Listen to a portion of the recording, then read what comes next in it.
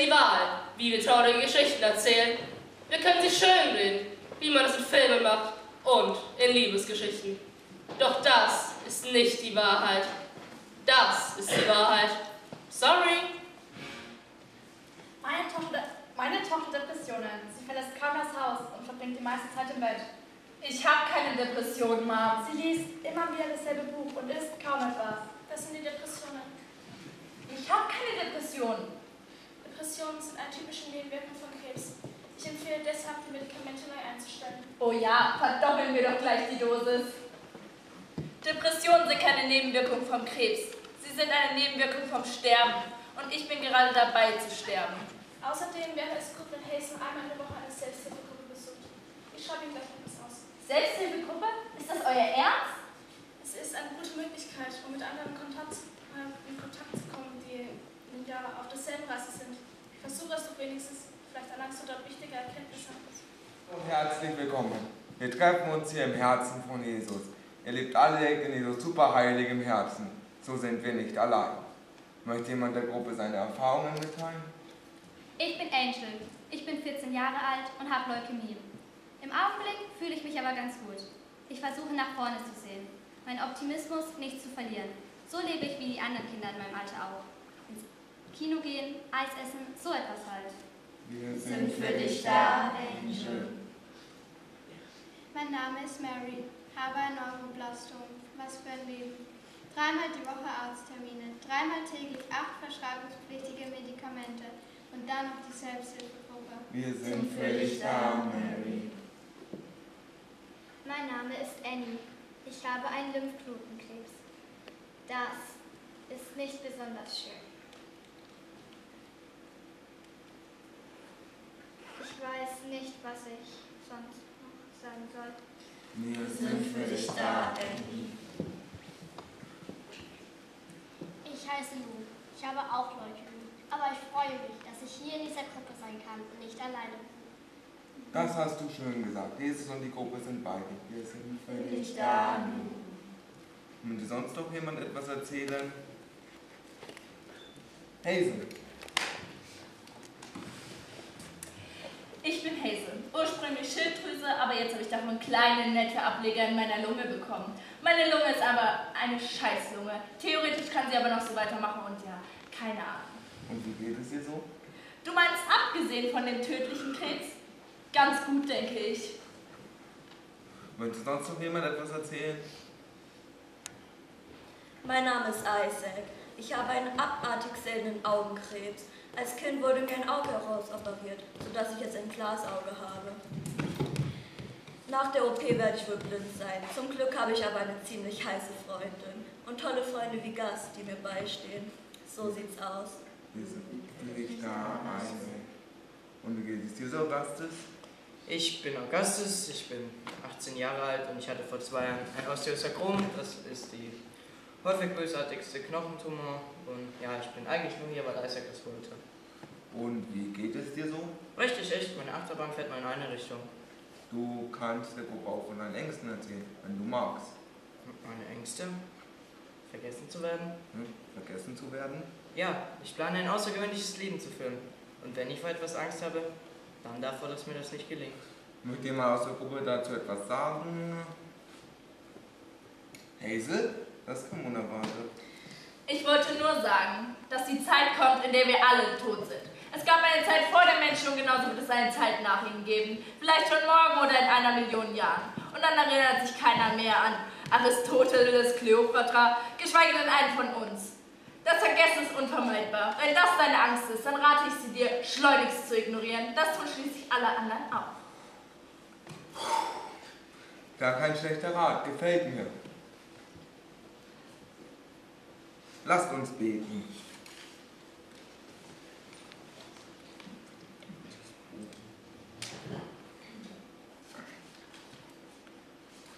Lieber Gott, als Krebspatienten haben wir uns hier in deinem Herzen versammelt. Führe uns durch die Zeiten der Prüfungen zum Leben und zum Licht. Wir beten für das Blut von Angel und Lou, für Marys Kopf, für Isaacs Lymphknoten, für Hazels Lunge, für Isaacs Augen und für Augustus Knochen. Und wir erinnern uns an die, die wir kannten und lieb hatten und die heim zu dir gegangen sind.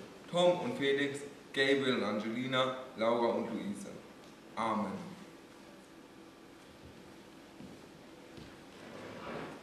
Eine lange Liste. Auf der Welt gibt es eine Menge Tote. Eines Tages wird mein Name auf dieser Liste stehen. Ganz am Ende, wenn keiner mehr zuhört. Ein Fest ohne Ende. Eines Tages werden wir Körper haben, deren Leichtigkeit die Schmetterlinge neiden. Mit einer Vollkommenheit, die die Engel staunen lehrt. Eines Tages werden wir Körper haben, von Licht umschmeichelt, von Sonne durchstrahlt.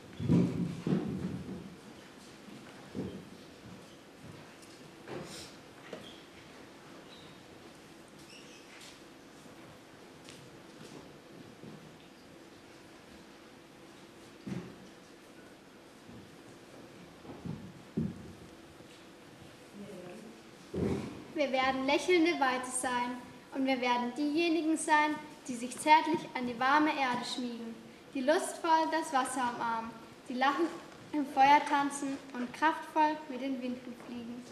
Wir werden dazugehören, unsagbar schön, unendlich leicht. Kein Schmerz und keine Narben, kein Hinken und Stolpern, keine Lähmung, kein Sterben. Und keine Träne wird mehr sein. Und dieses Fest werden wir feiern mit all jenen, die uns trotzdem dennoch oder gerade darum liebten. Ein Fest ohne Ende. So ist es uns verheißen. Wie heißt du? Hazel. Hazel Grace Lancaster. Was? Ich habe doch nichts gesagt. Warum starrst du mich so an? Du bist schön. Ich sehe mir gern hübsche Menschen an. Oh mein Gott. Du hast ja selbst gesagt, dass wir alle bald tot sein werden. Lass uns einen Film schauen. Ende der Woche hätte ich Zeit. Nein, ich meine jetzt. Du kennst mich doch gar nicht. Ein gewisses Risiko gibt es immer. Komm schon, Hazel Grace. Das ist jetzt nicht dein Ernst. Damit hast du gerade alles kaputt gemacht. Du gibst deinem Unternehmen Geld dafür, dass du Krebs kriegst, obwohl du schon einmal Krebs hattest. Ich kann dir versichern, nicht atmen zu können, ist echt scheiße. Das ist eine Metapher. Du steckst dir das tödliche Ding zwar zwischen die Zähne, gibst ihm aber nicht die Macht, dich zu töten. Gehen wir einen Film schauen.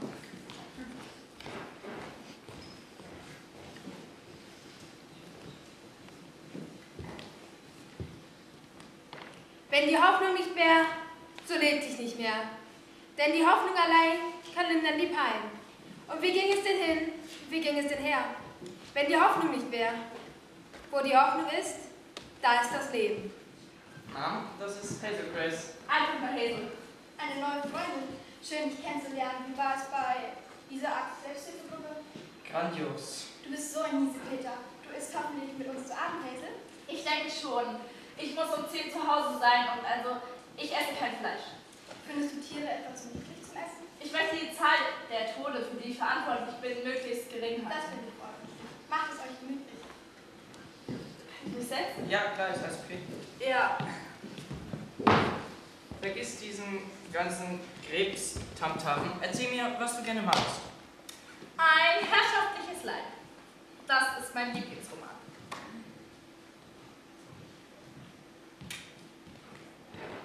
Es ist keine wahnsinnig anspruchsvolle Literatur, aber der Autor versteht mich.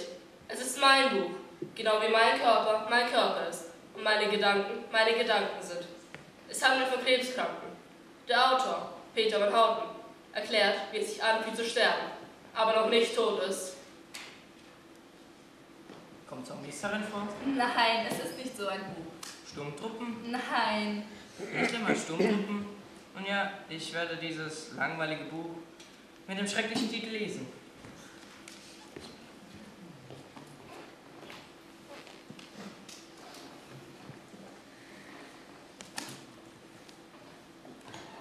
Dafür diese packende Romanversion meines Lieblingsspiels. Vielen Dank.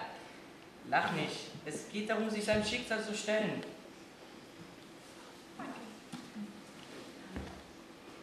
Kann ich dich morgen wiedersehen? Du kennst mich doch gar nicht. Ich rufe dich an, sobald ich das Buch gelesen habe. Du hast meine Telefonnummer nicht. Ich habe den dringenden Verdacht, dass du sie mir in das Buch geschrieben hast. Und du sagst, wir würden uns nicht kennen. Es wird ein tolles Buch sein, das du da gerade liest. Hast du es von den Jüngern? Er gefällt dir. Ich habe dir gesagt, Selbsthilfegruppe lohnt sich.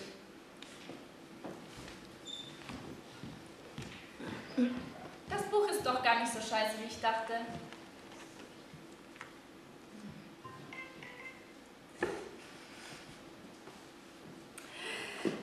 Sag mir, dass das nicht das Ende ist. Ein Buch kann doch nicht mitten im Satz enden. Was ist denn das für ein Irrsinn? Hi Hazel, Isaac ist auch da, allerdings befindet sie sich gerade mitten in einem psychotischen Schub. Du siehst übrigens hübsch aus. Hallo Isaac, Hallo Helen. wie geht es dir? Geht so. Das mit Isaac und ihrer Freundin ist wohl längst nicht mehr aktuell. Ich will nicht darüber reden. Ich will nur heulen und Videospiele spielen. Schmerz verlangt, gespürt zu werden. Sie wollte sich noch unbedingt vor der OP von mir trennen. Sie sagt, sie erträgt das nicht. Ich muss jetzt irgendwas kaputt machen. Hier, nimm das. Warte, die Kissen gehen nicht kaputt. Hier.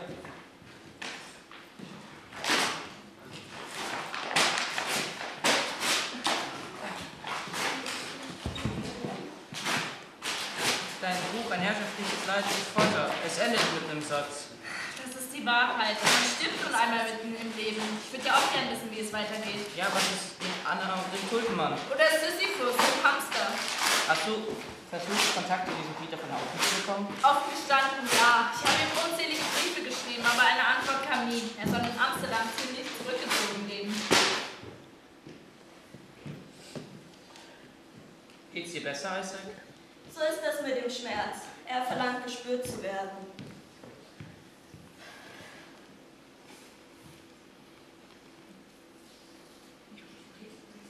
Hm? Hey, sogar Simon. Was ist das? Ich habe an die Assistentin von Peter von Houten eine Mail geschrieben und sie hat geantwortet.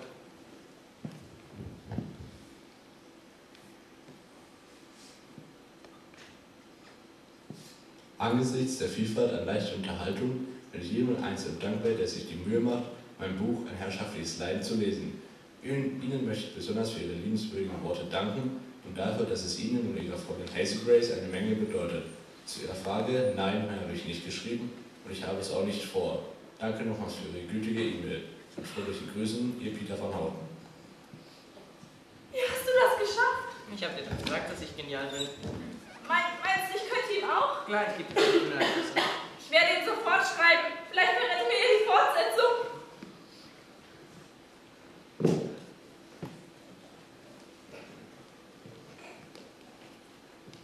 Ich schlief. Da hatte ich einen Traum. Mein, den Seelenraum. Gemein vom Ge Frei vom gemeinen Tageslieben vermochte ich leicht dahin zu schweben. So angenehm mich fortbewegen, erreichte ich eine schöne Gegend. Oh mein Gott!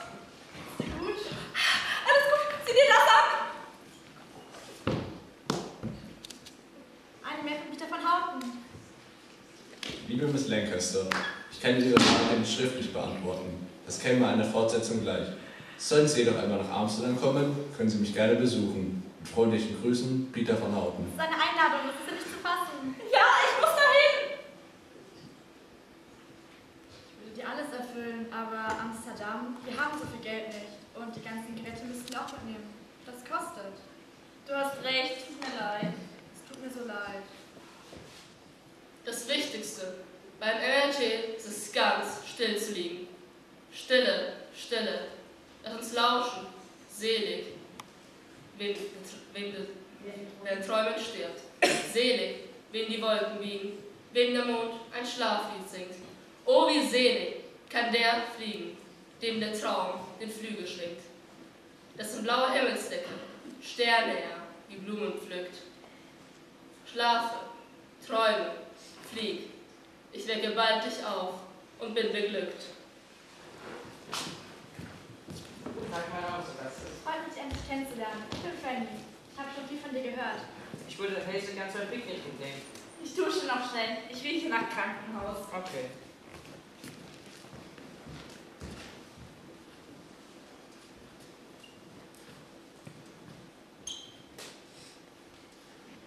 Du hast auch Krebs gehabt? Ja, Und wie geht es dir heute? Seit zwei Jahren keine Anzeichen mehr. Ich habe großes Glück gehabt. Das freut mich. Hör mal, Hazel ist immer noch sehr krank. Sie wird mit dir mithalten wollen. In Wirklichkeit sind ihre Lungen aber noch sehr Ich bin fertig. Wir können gehen. Meinst du, sie mögen mich? Warum interessiert es dich? Es sind doch bloß Eltern. Es sind deine Eltern. Und außerdem möchte ich gemocht werden. Mir musst du nicht ständig die Tür aufhalten oder mich mit Komplimenten überschütten, damit ich dich mag. Sandwich? Das. Du willst nach Amsterdam? Dann frag doch die Feen-Stiftung deinen Herzenswunsch, die erfüllen dir deinen Herzenswunsch. Den hatte ich schon. Mit 13. Disneyland. Disneyland, das darf doch nicht wahr sein. Dein wahrer Wunsch ist es, Peter von Houten zu treffen. Ja! Nun, zum Glück habe ich mir meinen Wunsch aufgehoben. Soll das heißen? Meinen Wunsch bekommst du nicht. Allerdings habe ich auch ein Interesse an einem Treffen mit Peter von Houten. Da muss das Mädchen, das mir das Buch näher gebracht hat, natürlich dabei sein.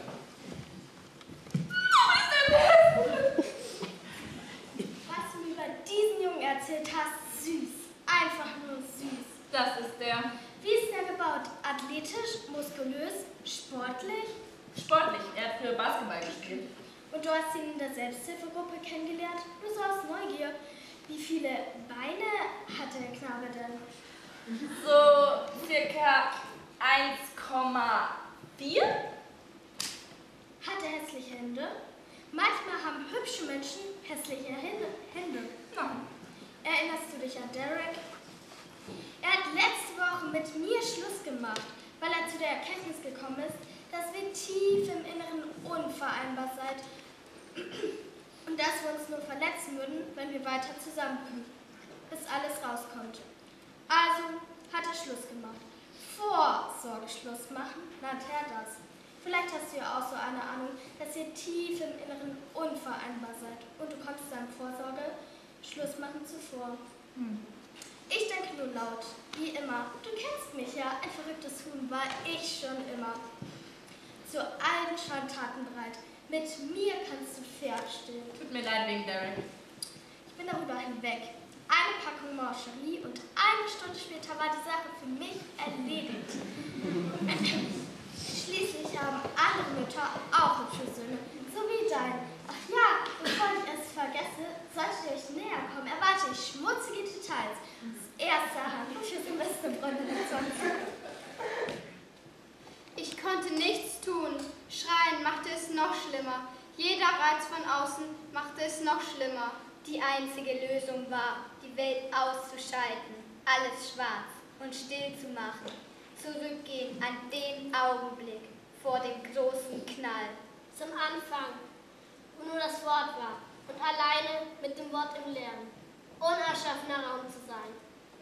Macht euch nichts vor, in diesem Moment wäre ich sehr gerne tot gewesen.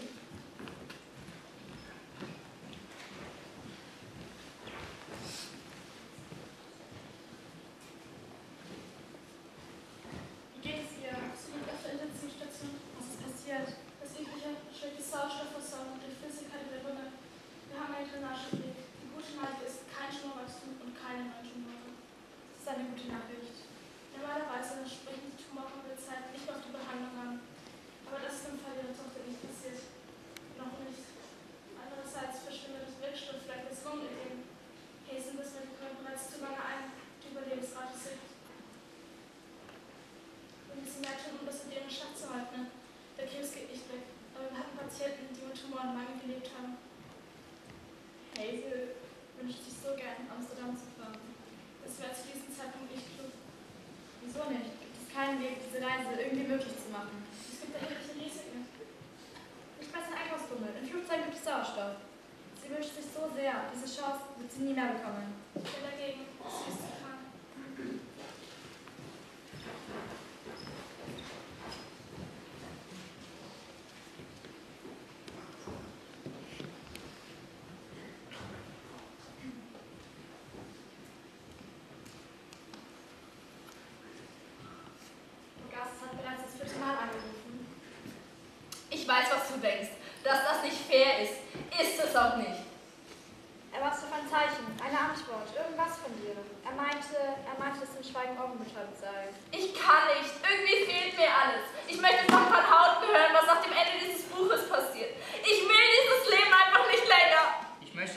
du weißt, dass,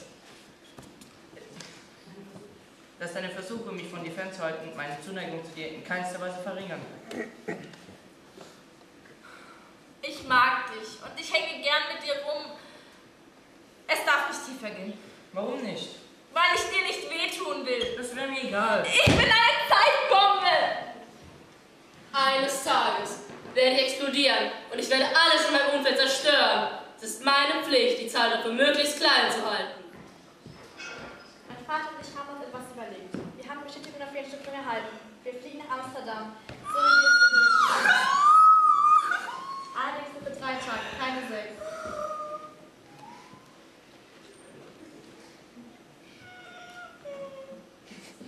Es ist alles geregelt. Ein Onkologe ist vor Ort. Wir haben an alles gedacht. Es wird alles gut. Ja, wieso nicht? Und Gassan, er wird sich freuen. Wir fliegen nach Amsterdam. Durch Sehnsucht nach den Urlaubstagen sich viele in den Flieger wagen. In engen Sitzen sie in Reihen, sich aus dem Alltagsstress befreien, um viel Erholung zu bekommen oder sich doch einfach nur zu sonnen. Über den Wolken muss die Freiheit wohl grenzenlos sein. Willkommen an Bord unseres Fliegers nach Amsterdam. Die planmäßige Flugzeit Indianapolis, Amsterdam beträgt genau 10 Stunden. Wir wünschen Ihnen einen angenehmen Aufenthalt an Bord. Da wir in Kürze fertig für den Start sind, bitte ich Sie, sich anzuschnallen und die Sitzlehnen abzuschneiden. Bist du so nervös? Bist du noch nie geflogen? Ja, Entschuldigung, Rauchen ist hier nicht gestattet. Auf keinen Fall. ich rauche nicht. Das ist eine Gefahr.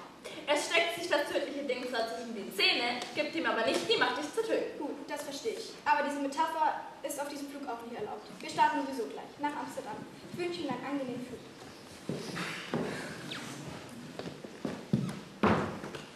Wackelt ein Flugzeug eigentlich immer so? So fühlt es sich an, mit dir Auto zu fahren. Die Pfeile hinreißen. Wir sind nur Freundinnen. Das sehe ich anders. Die dunklen Grachten sind der Stadt ein Spiegel. Die Bilder, stimmig, zart, charmant. Lichter, Brücken, Häuserhügel, zeichnen sich wankend ab, doch ruhen und galant. Die Stadt blüht in vornehmer Romantik. Es ist, als wenn die Zeit stehen bliebe. Und in die Straßen fließt das Wasser vom Atlantik, wie in Mengen wie der Menschen Liebe. Die Amsterdamer wissen, wie zu leben, und deren Leben ist besonders. Scheint, als sei das Bestreben nach Glück hier leichter als woanders. Wir sind in Amsterdam. Ihr zwei seid in ein romantisch, romantisches Restaurant eingeladen. Man sieht unwerfend aus. Ich wünsche euch viel Vergnügen. Darf ich bitten, machen wir Amsterdam unsicher. Willkommen in Oranien. Ich bin Ihre Kellnerin für heute Abend. Hier ist Ihr Tisch. Der Champagner ist ein Geschenk des Hauses.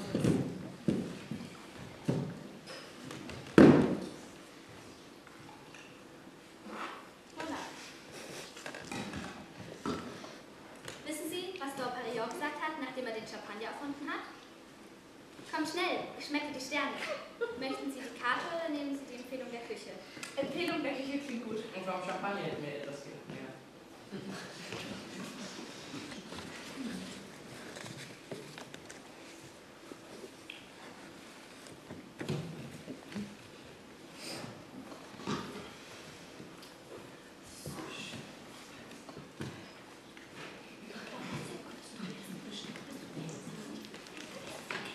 Wir haben für Sie alle Sterne der Welt in Flaschen abgefüllt. Lassen Sie sich verwöhnen. Vorausbestimmt zur Sternenbahn. Was geht dich, Stern, das Dunkle an? Hin durch diese Zeit. Der Ehen sei dir fremd und weit. Der fernsten Welt gehört dein Schein. Mitleid soll Sünde für dich sein. Noch mehr Sterne? Nein, danke, die Rechnung bitte. Nicht nötig, Ihre Rechnung übernimmt Mr. van Houten.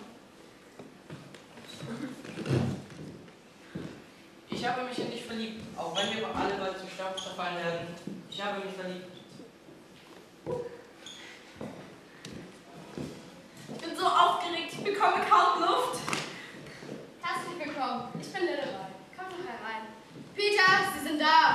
Äh, da? Gast und Hazel, die Fans, mit denen du korrespondiert hast. Die Amis.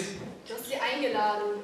Weißt du, warum ich aus Amerika weg bin? Damit ich die wieder Amerikaner sehen muss. Du bist Amerikaner. Leider nicht zu ändern. Schick sie weg. Das werde ich nicht tun, Peter. Sei bitte nett zu ihnen.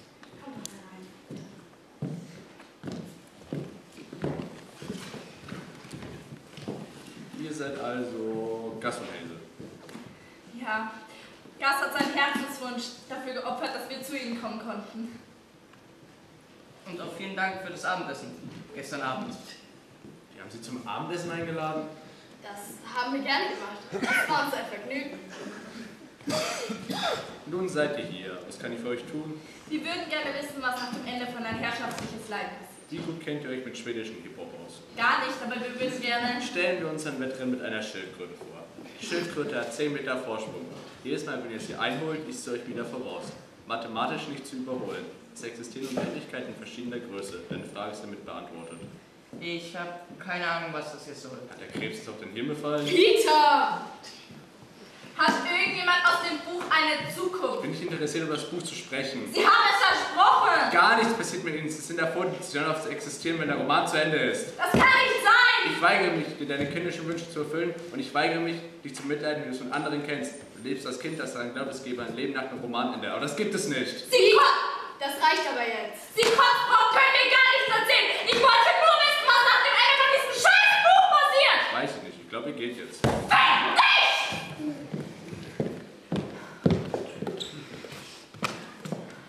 So hab ich deinen Wunsch mit diesem Arschloch verschwendet! Ich schreibe dir eine Fortsetzung. Du wirst sie mögen. Und du hast ihn uns geschenkt. Warte. Es tut mir so leid. Er war nicht immer so.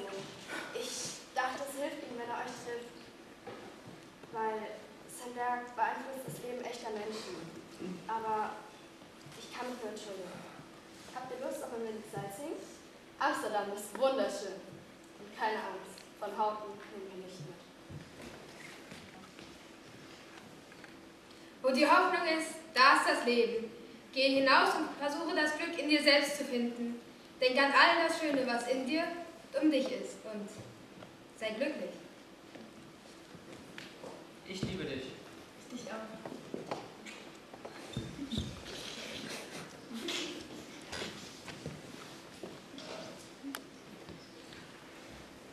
Amsterdam, du Stadt im Norden, nicht sehr weit vom großen Meer. In dir fühle ich mich geborgen. Gerne komme ich wieder her. Lass die Seele einfach baumeln. Tanke mich dann wieder auf. Und der Alltag dann zu Hause gibt mir wieder neuen Mut. Bis zu meiner nächsten Reise. Amsterdam, du tust mir gut.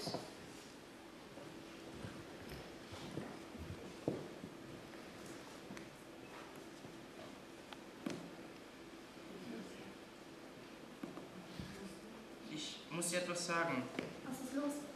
Es war kurz bevor du ins Krankenhaus musstest. Ich hatte Schmerzen an der Hüfte. Ich hatte einen PET-Scan und ich habe geleuchtet wie ein Weihnachtsbaum. Brust, Leber, Prostata, einfach überall. Es tut mir leid, ich hätte es dir sagen sollen. Es ist so...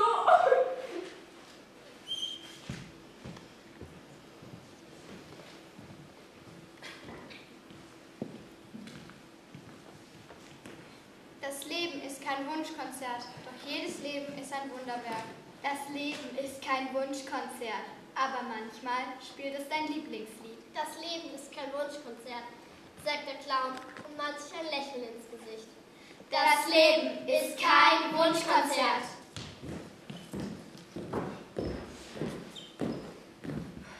Wie geht es deinen Augen, Isaac? Ganz gut, nur dass sie nicht mehr in meinem Kopf sind. Aber sonst. Ich bestehe fast nur noch aus Metastasen. Mach das mal nach. Hast du eigentlich schon seine Grabrede fertig? Was? Ich brauche noch Redner für meine Beerdigung. Du und Isaac. In erster Linie natürlich du. Ich liebe dich und es wird mir eine Ehre sein, die Grabrede zu halten. Danke. Ihr seid echt süß. Das macht mich ganz krank. Echt ätzend. In der Selbsthilfegruppe gibt es eine neue, gewaltig. Woher willst du das wissen? Ich bin blind, aber nicht so blind. Ich, ich möchte bei meiner Beerdigung dabei sein. Ich hoffe ja, dass es, ich es als Geist sein kann. Aber für den Fall, dass das nicht so ist, machen wir jetzt quasi eine Vorbeerdigung. Und ich fange mit der Rede an. Augustus Waters war ein arroganter Mistkerl, doch wir haben ihn verziehen. Nicht wegen seines übermenschlich guten Aussehens oder weil er nur 19 geworden ist und auch überhaupt nicht dran war. Alt 18. Ich gehe davon aus, dass ihr noch ein bisschen Zeit bleibt. Und überhaupt unterbreche meine Grabrede nicht. Du bist sowieso tot. Und deine Rede, Hazel Grace?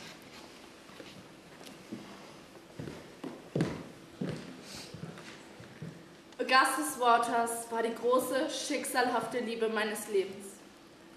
Ich werde kaum ein Wort sagen können, ohne in einem Tränenmeer zu versinken. Ein Schriftsteller hat mal gesagt, den wir beide sehr mochten, es gibt Unendlichkeiten verschiedener Größe. Wir hatten unsere kleine Unendlichkeit und du hast uns unsere kleine Ewigkeit geschenkt. Dafür werde ich dir immer dankbar sein. Ich liebe dich.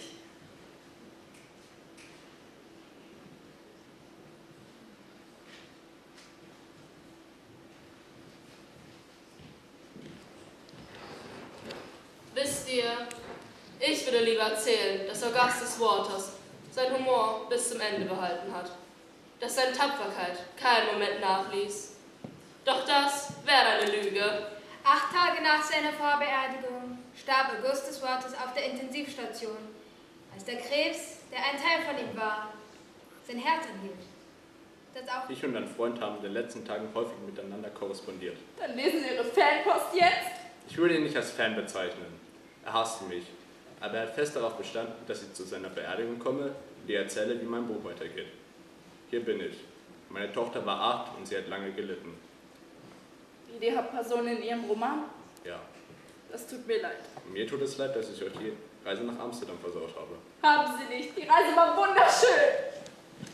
Aber ein Brief nicht. Ich will nichts von Ihnen. Kann man nicht einfach mal in Ruhe trauern? Der Brief ist nicht von mir.